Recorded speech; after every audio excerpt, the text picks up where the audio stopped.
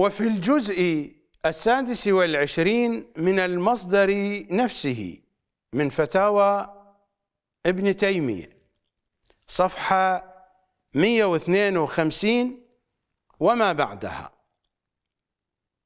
فيجب على المسلم أن يعلم أن الحج من جنس الصلاة ونحوها من العبادات التي يعبد الله بها وحده لا شريك له وأن الصلاة على الجنائز وزيارة قبور الأموات من جنس الدعاء لهم.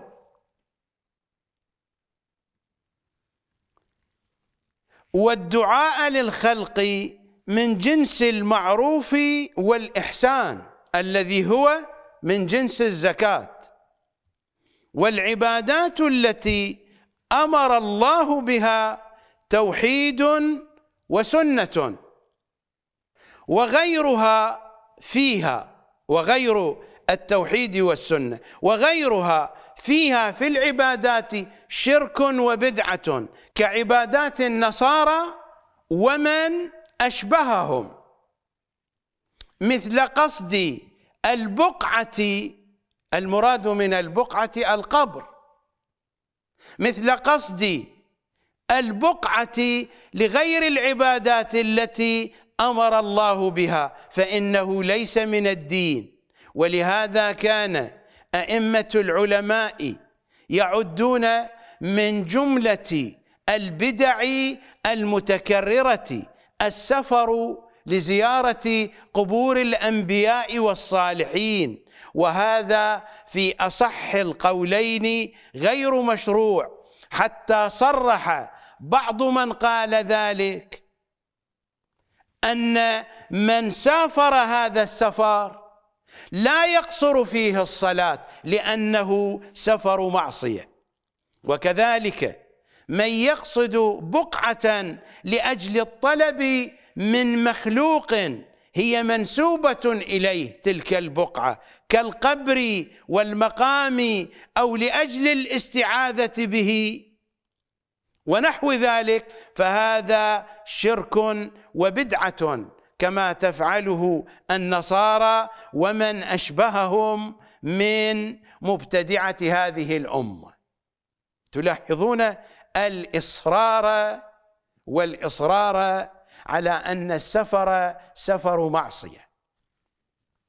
هذا في الجزء السادس والعشرين وهذا الجزء السابع والعشرون أيضا من مجموع فتاوى ابن تيمية صفحة 139 وما بعدها. وقد تنازع المتأخرون في من سافر لزيارة قبر نبي أو نحو ذلك من المشاهد.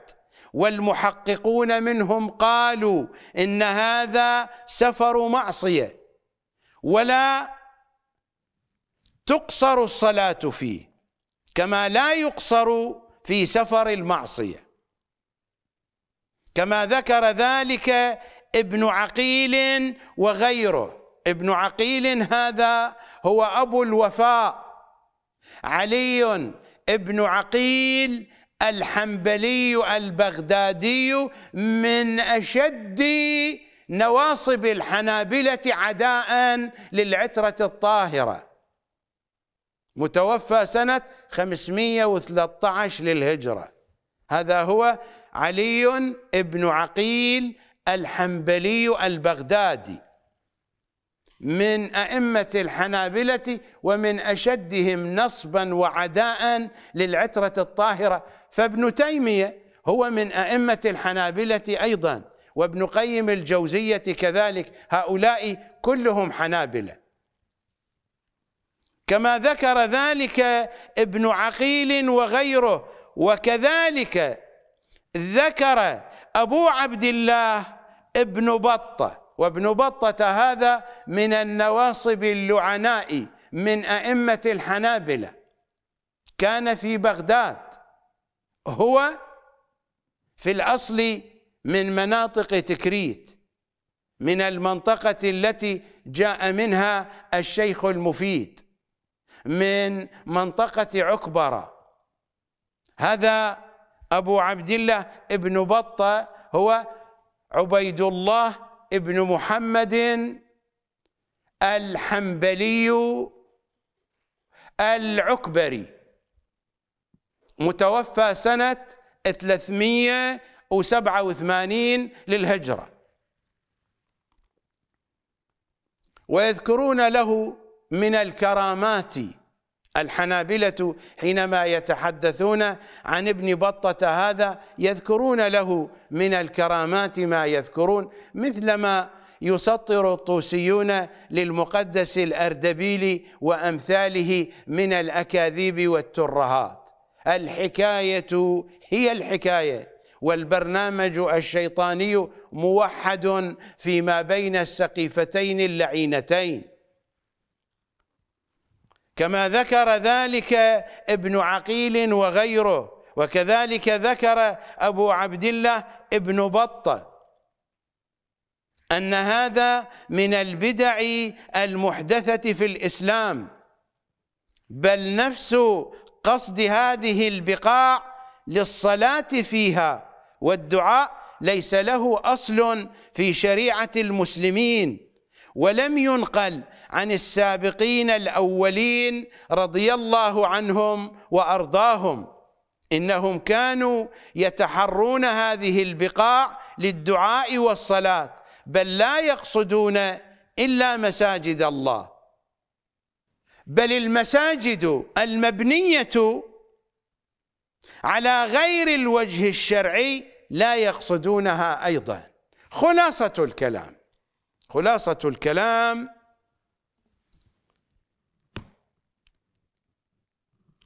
قصد زيارة قبر رسول الله ليس جائزا ليس جائزا. والسفر بهذه النية سفر معصية. والحاج إذا ما توجه إلى الحاج وفي الوقت نفسه يقصد زيارة قبر رسول الله سفره سفر معصية. إنها حكاية فتاوى الطوسيين فيما يرتبط بزيارة قبر سيد الشهداء. أبوهم واحد إبليس الأبالسة. منهجهم واحد منهج شيطاني قذر نجس بامتياز. يحدثنا أبو سمير الوائلي المكتبة الشيعية المتنقلة كما يصفه الطوسيون هكذا يصفه محمد باقر الصادر الخوئي السيستاني. إنه المكتبة الشيعية المتنقلة جامعة شيعية متنقلة.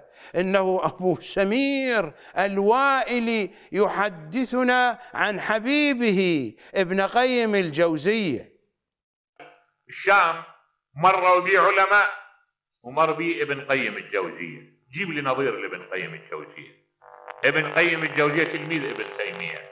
بس مر بي شوف هذا الرجل. إيش قد عنده مؤلفات؟ وش كثر بيها عطاء هاي المؤلفات. جيب لي شخص اليوم من أكبر الجامعيين خل يتسع وقته ليعطي عطاء ابن قيم الجوزية. ياخذون عباقرة.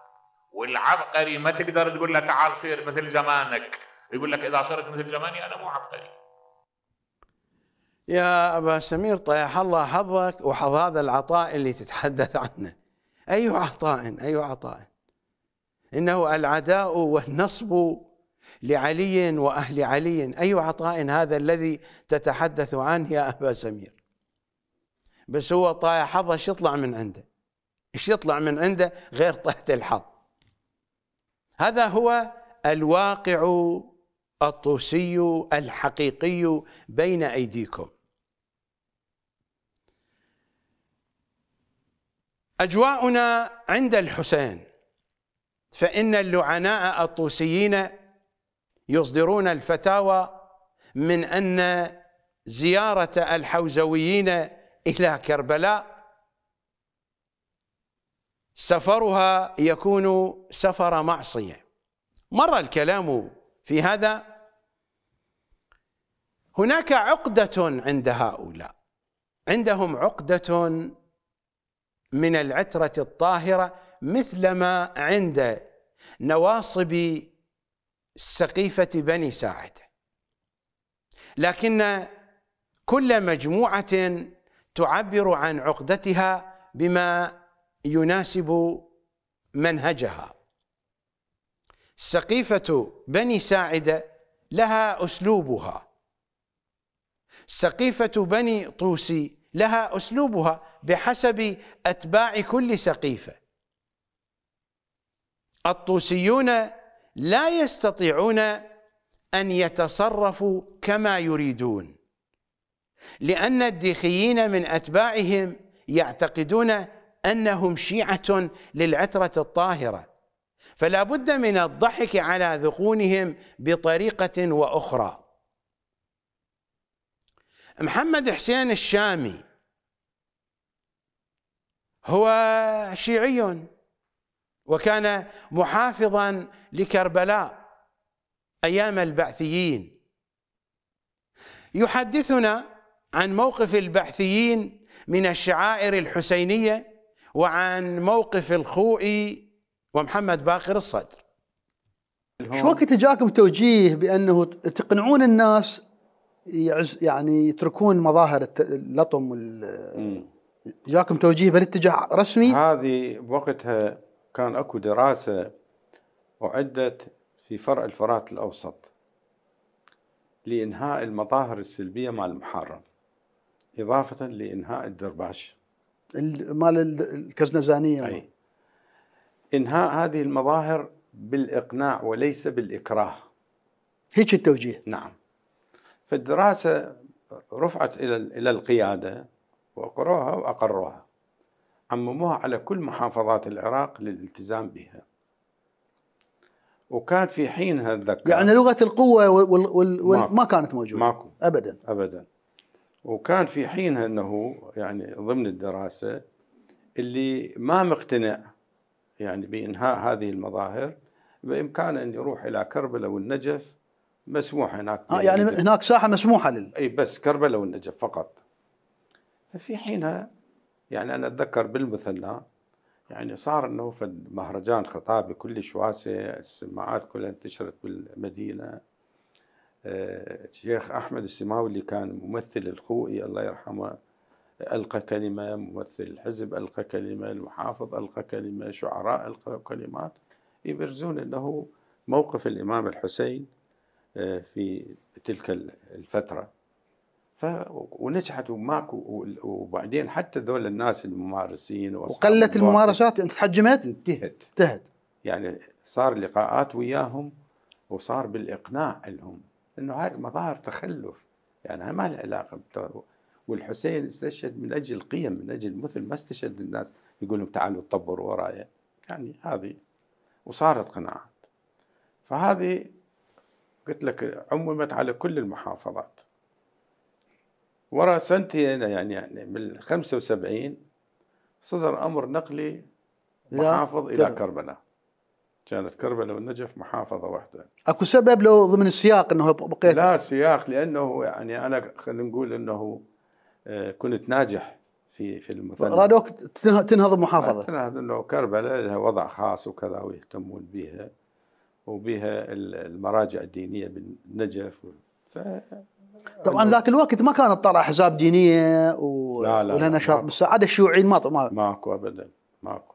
لا. يعني أكو يمكن عناصر قومية يعني كحركة قومية كذا هذا اللي مشهور. والأحزاب الدينية ما مشوا إذا أكو موجودين يعني أشخاص معينين طيب. ف من جهة الكربلاء كربلاء والنجف كانت قلت لك محافظة واحدة. مو محافظة كربلاء محافظة نجف قضاء. إي قضاء تابع لها تابع محافظة واحدة. ففي حينها صدرت تعليمات إنه بذيك السنة إنه بعد حتى هاي المظاهر ممنوع منع بات. يعني بالقوة. مو بالإقناع وإنما منع. حتى بكربلاء والنجف؟ هي كربلاء والنجف. هي اللي ظلت بس هذه. فأنا في حينها أتذكر إنه كنت أروح وكانوا يطلبون من عندنا إنه آه، استحصال فتاوي. فتاوى من رجال الدين من من يعني الم- المراجع المراجع. بتحريم هاي المظاهر. هم كم مرجع ذاك الوقت؟ الخوئي سيد الخوئي. الخوي ك- هواي كذا واحد الخوي اللي اتذكرهم السيد يوسف الحكيم. يوسف الحكيم نعم. عبد الله الشيرازي آه، محمد باقر الصدر الله يرحمه. يعني ذول اللي بارزين كانوا معروفين. ففي حينها يعني حاولت إنه أنا يعني أن أستحصل هاي الفتاوى رحت افتريت عليهم كلهم. أتذكر الخوي الله يرحمه التقيت به يعني جيت عليه عافل الديوان مال اللي كلهم معممين قاعدين اجى قاعد وياي في غرفة صغيرة تحت الدرج. يعني رجل كبير بالنسبة لي كان مقدب وياه أنا بعدني شاب يعني ذاك الوقت. فحكيت وياه أتذكر قلت له قلت له سيدنا أنه إحنا موضوع هاي المظاهر هالسنة صدر قرار بعد إنهائها.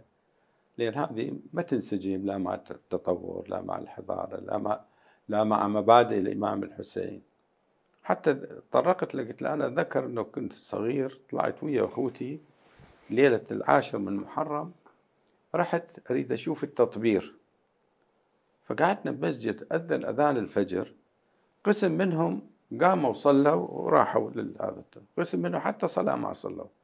يعني قلت له هذا واجب. يعني أنت تقول له تقول له مو كل يمارس التطبير هو متدين. رحم الله والديه. إيه. بالضبط. اي ف وقلت له وطلبت من عنده إنه اصدار فتوى. ما يصدر فتوى. بتحريم هاي المظاهر. لا سيما إنه تاريخيا سيد محسن الأمين العامل كان مرجع ديني كبير في النجف. بالن... بال... نعم. حرمها هاي المظاهر. هو الوحيد. اي حرمها قا... و... عنه. وتعرض المشاكل. وتعرض المشاكل قام من يطلع يروح من بيته يروح للأمير. اللي يزور ذول الرعاع بكشور البيض يضربوه. يعني اضطر يروح الب... لبنان. راح لا قاعد بالشام. بالشام إيه. إيه، إيه. واندفن هناك ما تندفن. المهم. فهو الرجل جواب مختصر جاوبني. قال لي ابني إحنا ما راح نوقف ضد إجراءاتكم بس أنتم على كيفكم ويا الناس. بس غير هذا يعني هو كلامه ينطوي على شطرين. الشطر الأول إنه هو. ضد ضد هاي ال... طبعا بس ما يقدر يصدر يقدر، فتوى. بالضبط. اثنين إنه أنتم تمنعوها منعوها بلا قسوة.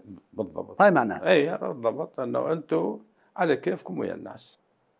كملت مع الخوئي نعم. أخذت الخلاصة. مم.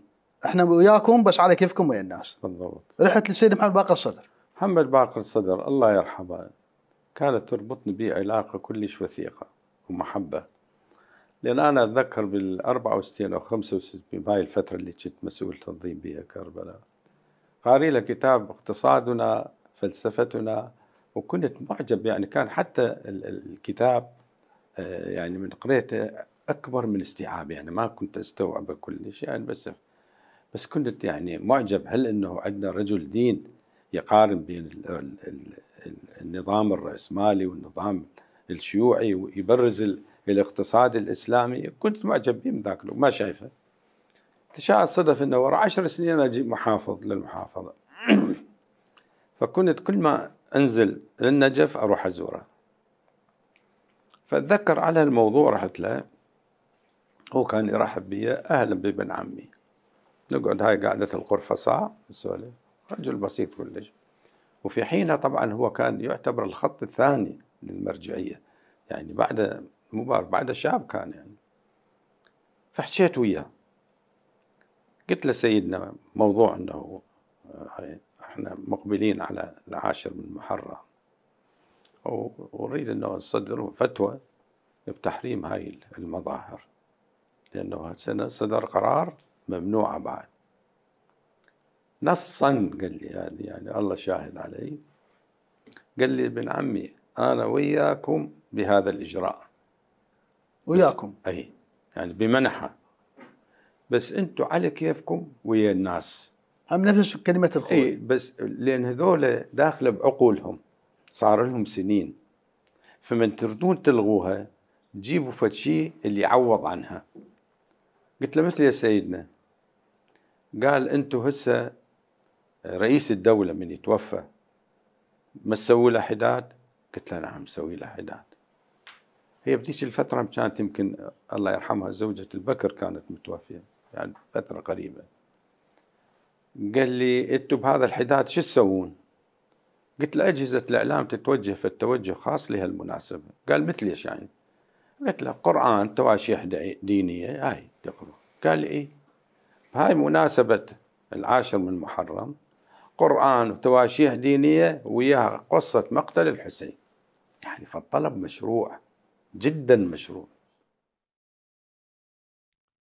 هذا الكلام الذي ينقله محمد حسين الشامي دقيق لأن هذا الكلام بغض النظر عن محمد حسين الشامي الذي كان محافظا لكربلاء. هذا الكلام ينقل عن الخوئي وعن محمد باقر الصدر كثيرا وكثيرا.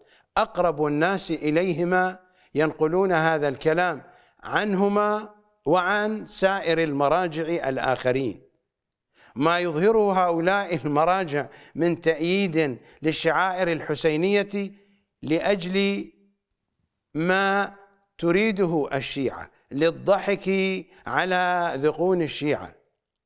هذه حقائق هذه حقائق وحقائق وحقائق. والقريبون من هؤلاء المراجع يعرفون دقة هذه المعلومات. الوائلي في الوثيقة رقم 75 من الحلقة 135 من برنامج الكتاب الناطق مجموعة وثائق ضلال وسفاهة وتفاهة وبترية الوائلي يحدثنا عن النعاج عن المواكب الحسينية. كان عندهم عزم هالسنة هم مصرين. أن يشتروا لهم بعيرة ويركبون عليها واحد يسووه عليل ويمشون بهايد بارك بلندن نبالي زين؟ يطلعون عليل. لا مو أحكي لك قصة أنا لا. أحكي لك واقع. نبالي مو مو أحكي لك لطيفة لا.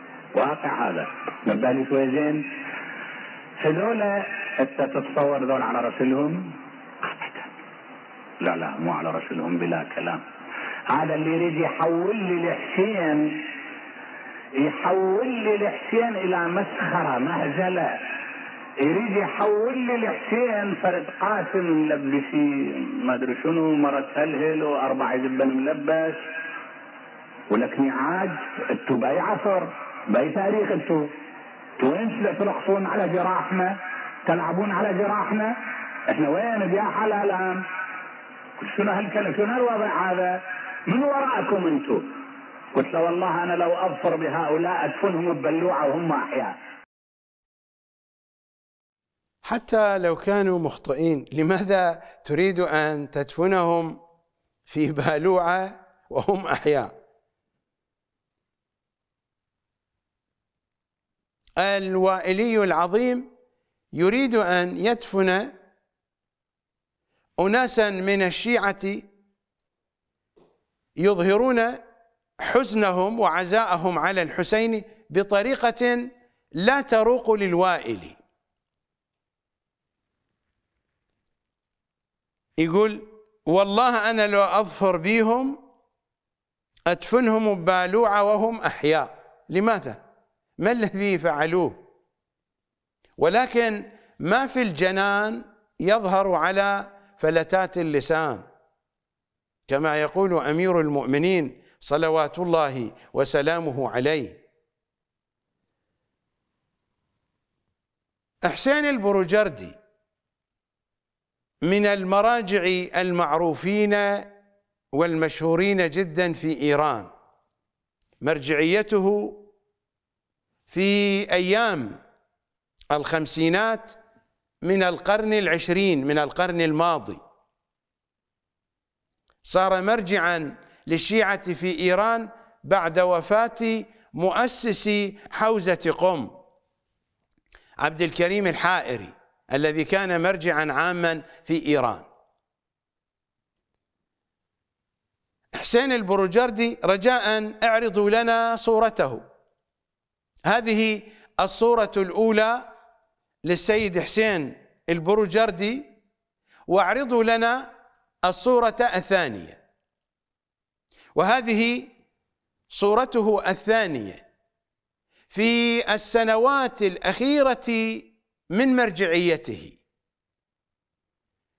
في سنة من السنوات وجه دعوة إلى كل أصحاب المواكب الحسينية في مدينة قم. في أواخر أيام شهر ذي الحجة إنها الأيام التي يتهيأ فيها أصحاب المواكب والهيئات الحسينية لتهيئة مواكبهم وهيئاتهم وحسينياتهم لأيام محرم التي ستكون قريبة. أرسل على أصحاب المواكب والهيئات والحسينيات. فجاءوا يتقاطرون. مسرورين. إنه المرجع الأعلى. ماذا يريد منهم؟ وإذا بهم يصدمون حينما قال لهم بعد أن اجتمعوا في داره قال لهم تقلدون من أنتم؟ قالوا نقلدك يا سماحة المرجع الأعلى. قال إنني أحرم عليكم ما تقومون به من نشاط ومن أعمال في الحسينيات وفي المواكب والهيئات. صعقوا جميعا. ماذا يقول هذا الرجل؟ صعقوا جميعا. لكن أحدا وضع الحسين جوابا على لسانه. فأسكته وأفحمه وأسقط ما في يديه. وصار مخذولا حسيرا بائسا خاسئا كما يخسأ الكلب. حينما قال له قال له سيدنا إحنا نقلدك طيلة السنة بس هاي الأيام العشرة ما نقلدك بيها. لا يستطيع أن يمنعه هم أحرار. لا يستطيع أن يوجب عليهم أن يقلدوه في هذه الأيام. قال له إحنا نقلدك السنة كلها بس ذني الأيام العشرة ما نقلدك نحن نقلد الحسين. فجاءته الصفعة على وجهه. مثل ما نقول بالتعبير الشعبي العراقي ضربوه على بوزه. ضرب المرجع العظيم على بوزه الكثيف هذا هو واقع مراجع الشيعة وواقع خطباء الشيعة الذين يعتاشون يعتاشون ويجمعون الأموال من منبر الحسين ومن مجالس الحسين. هذا هو الواقع الذي عليه الطوسيون. نذهب إلى فاصل.